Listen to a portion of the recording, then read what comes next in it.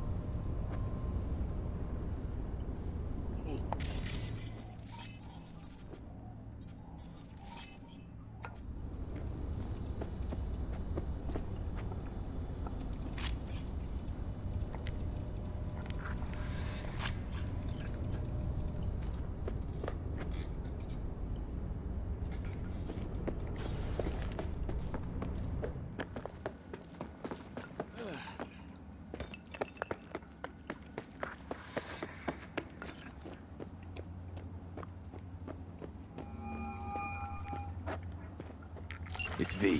Took care of Jose. Nice work. Really, really nice work. Did you learn who busted him out after he killed that batch? Arasaka. Arasaka. You're telling me a megacorp was involved in the killing of some ordinary beat cop? Joffrey's death was an accident. Jose was covered for another reason. I'm still listening. He and his crew were hired to launch a full-blown assault on an Arasaka facility, and to do it using Militech equipment. Attacking Arasaka. On Arasaka's behalf. Shit. You need to get out there. You know more than you're telling. Spill. I'm just speculating here, but Out with it. there's a good chance that Arasaka's looking to pick a serious fight with Militech. Maybe even all-out war. And? Jose's hit was meant to be their excuse? Kinda slim, don't you think? It's not just Jose. I've heard of other cases. Same MO. This runs deep, But why war? They're still picking up pieces from the last one. No bigger smokescreen than war. Maybe they need the attention of something else. Not sure I even want to know. You, Padre? Not this time, no. Not my board, not my game. See you V. Yeah, be seeing you.